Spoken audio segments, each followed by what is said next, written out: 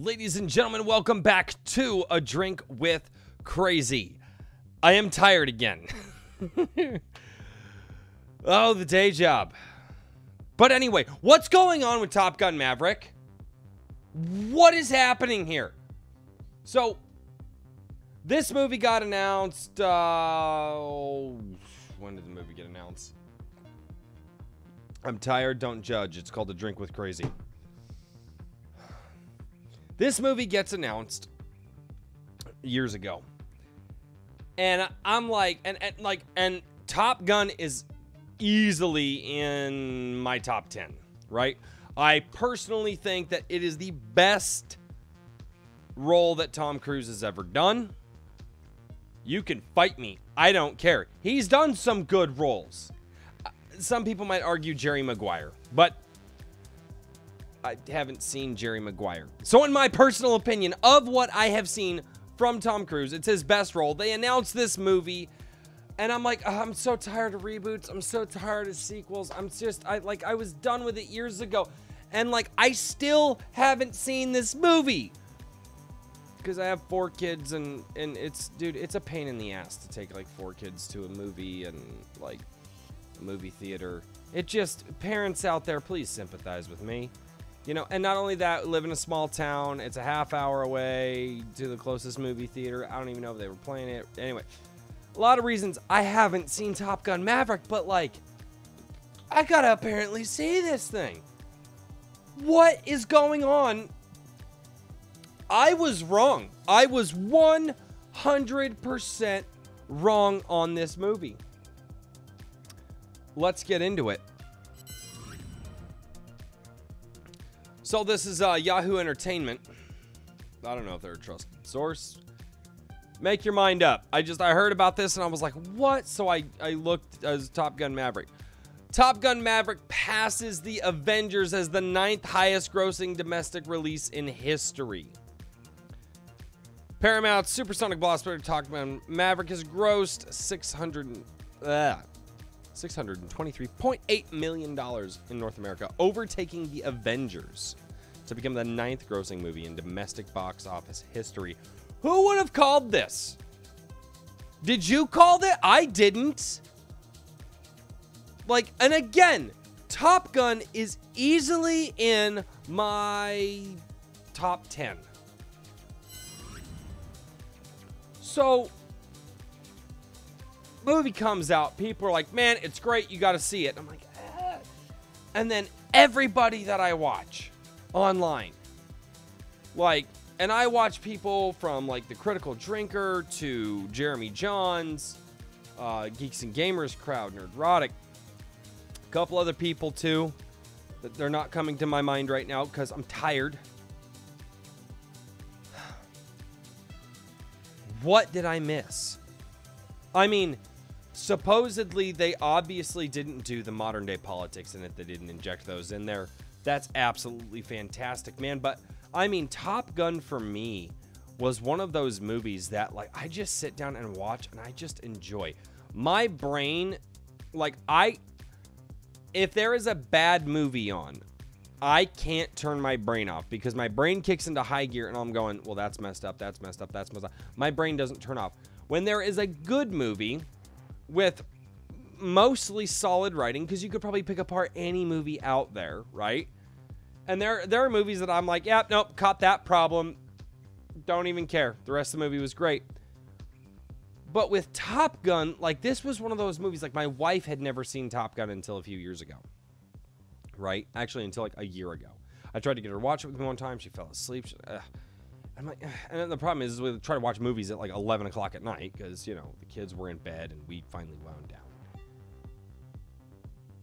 But I didn't see this. I didn't. This is what 30 years later, almost 40 years later. What? I, what's going on? What's what's happening here? What am I missing?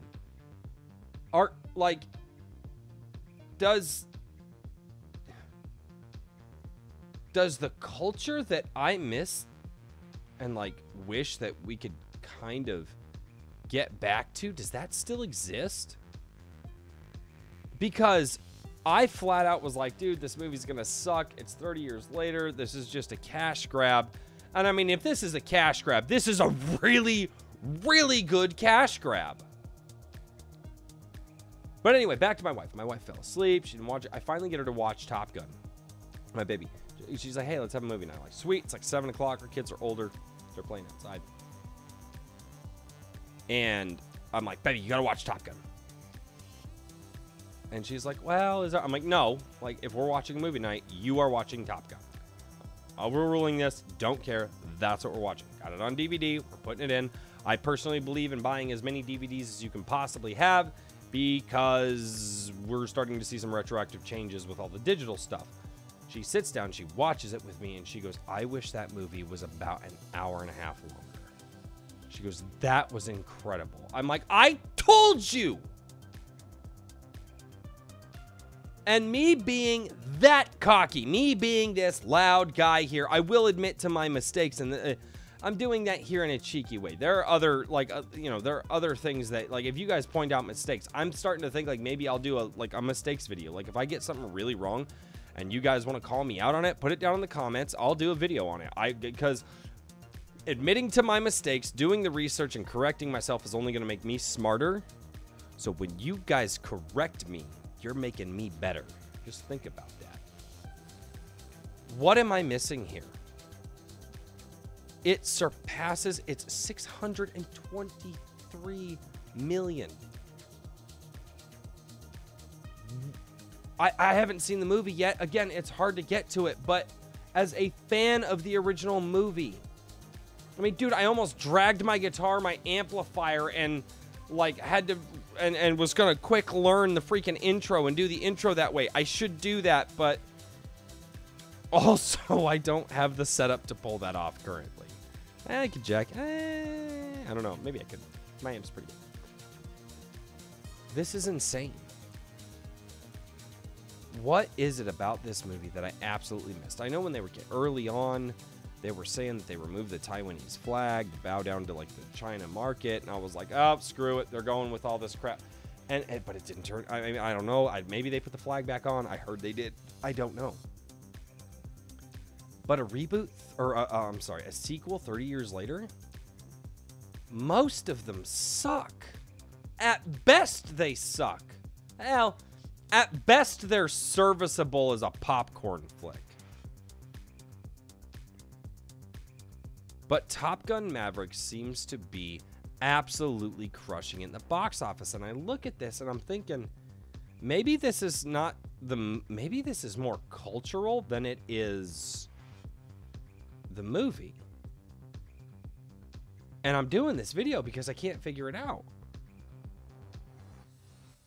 People are telling, and I've heard from people, they're like, man, if you saw the first one, you kind of know what happened in the second one, but it doesn't matter because the second one's still done really well and that gets me, you know, that gets me to like, uh, you know, when we did Ghost of Tsushima, we did a Ghost of Tsushima review on the channel years ago when Ghost of Tsushima came out. And Ghost of Tsushima didn't do anything new, but what it did, it did very well. And apparently that's what's happening here. And me, I always try to attack things from a different angle. That's why, although I've been talking about Young Rippa and the Rippaverse a lot and like what's going on there, I am trying to attack those larger concepts by using the pop culture phenomenon uh, that's happening. And I, I, I guess I, I just have to see this movie to understand. But I don't know. I don't know, because because every every human being seems to be so arrogant, and this is probably this is probably just me thinking, well, I would probably enjoy it. Nobody else would, right? Because you always, because because everybody always has that little thing inside their head where they kind of other people, and I'm just wondering, like, because cause I wrote this movie off and I was like, no who's gonna like it? And they're like, man, it's just a good movie. Got a strong male lead, fighter pilots, stunts, action, all the stuff that I love. Practical effects. Thank you. Practical effects. Mm.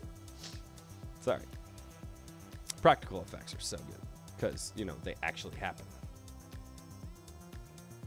But for this movie to have the legs that it has, and it's still going and still going and still going, like there's this spark inside of me that's just like, holy crap, maybe, maybe I was wrong about our culture. Am I am I too enveloped in the internet culture? What's happening with the culture war side of things?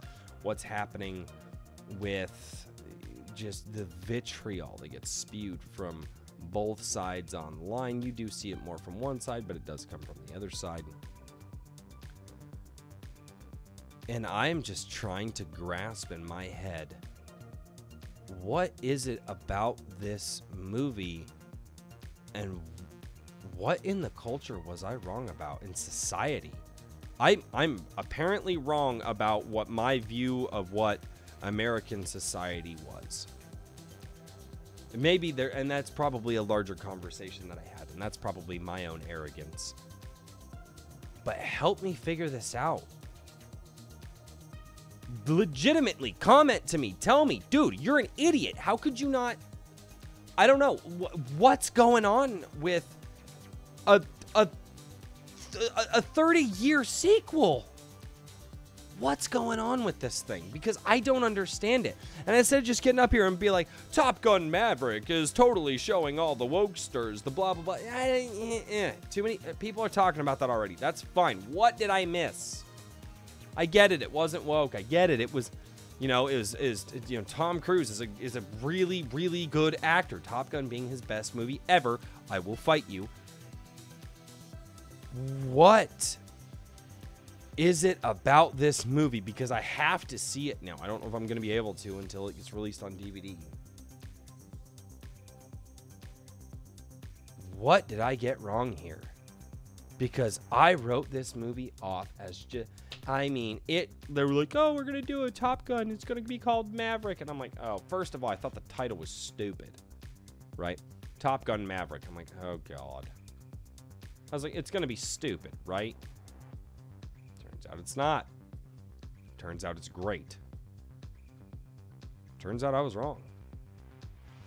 And I I want to light a fire under whatever ass I need to my own first and then someone else's, to figure out how to keep that cultural thing going. Because I've heard about the movie, I've heard what it's doing, and apparently there's a culture out there that exists that I want to see more of. And I want to I want to shout to the rooftops and figure out how to get it there. How do how do I spread that culture? What am I because if I'm missing pieces, I can't do that properly. So tell me, tell me in the comments below, what am I missing? Is there something deeper here? Was I wrong about the American culture? Because I thought, I thought the Top Gun culture, the you know, that culture, I thought that died a long time ago. And it looks like I was wrong. So hopefully you guys don't mind this video. I just I saw this and I was like, man, I gotta, I gotta at least say something about it. This is crazy. This baffles me. So let me know in the comments below. What am I missing?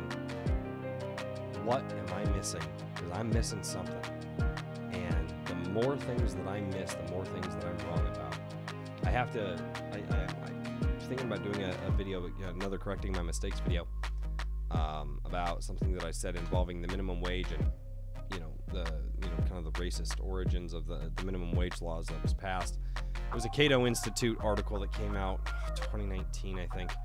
Um, and somebody kind of was like, no, that's not where minimum wage started. It didn't have its roots there. And so I was probably wrong on that. So I'm thinking of doing a video on that because I think it's really important to clear up even my minor mistakes. Because the more mistakes I clear up, the better it is for myself, for my children, for my wife, and for anybody who wants to check out the channel. So let me know. And thank you guys so much for checking out A Drink with Crazy. I'll see you next time. Cheers. Thank you for watching A Drink with Crazy. If you liked the conversation, make sure to click here to see more.